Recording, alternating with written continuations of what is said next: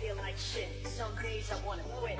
Just be normal for a bit. I don't understand why you have to always be gone. I get along with critics always feel so long. I find myself trying to stay by the phone. Cause your voice always helps me and I feel so alone, but I feel like an idiot.